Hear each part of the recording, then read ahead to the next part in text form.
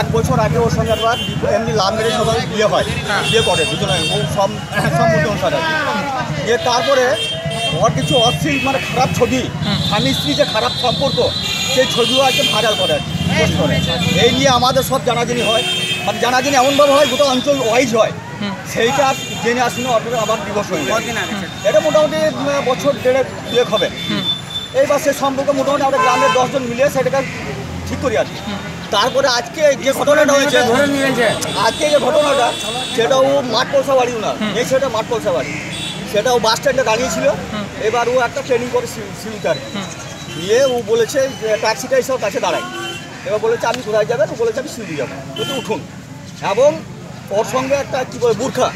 সেটাও মতন রেখেছিল কাছে। এবং একটা এত ছুরি ছিল। হ্যাঁ?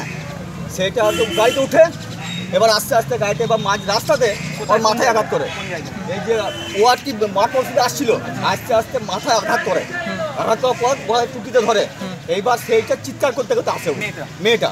এইখান থেকে আর কি গিয়ে একটা বয়স্ক ভদ্রলোক মানে বয়স্ক লোক আর কি শুনতে পায়। কোন জায়গায়? এই যে ব্যাংকের কাছে। ব্যাংকে অনেক লোক ছিল ব্যাংকের গেটের সামনে। হ্যাঁ ব্যাংক ছোট হলো ব্যাংকের সামনে। এবার অনেক লোক ছিল।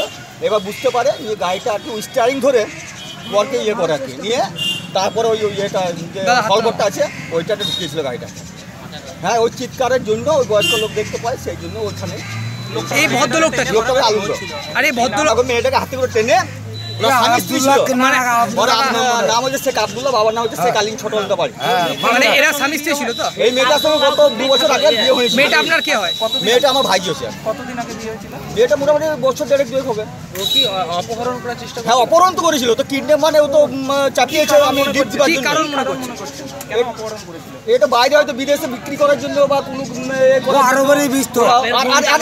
এটা একটা ব্যাপার হচ্ছে ও আরও অনেক মহিলাকে হ্যাঁ, আরও স্কুল বিস্ত। থেকে অনেক পাচার করেছে এইভাবে আপনার নাম? ওনার হচ্ছে নাম হচ্ছে শেখ আব্দুল্লাহ। বাবার নাম হচ্ছে শেখ আলিম আপনার নাম? আপনার নাম? আমার নাম হচ্ছে শেখ শাহজাহান ইটাগড়িয়া